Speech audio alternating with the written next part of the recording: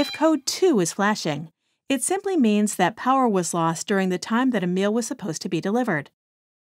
To turn off the alert, press the check button one time. If needed, manually dispense a meal to your pet by holding the plus and check buttons at the same time for 2 seconds. The Portion Pro RX will automatically resume operation after the meal is fed.